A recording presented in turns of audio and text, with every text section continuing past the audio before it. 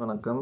பதினாறு பத்து ரெண்டாயிரத்தி இருபத்தி ரெண்டில் இன்றைக்கி நடந்த high court of Madras question paper இது.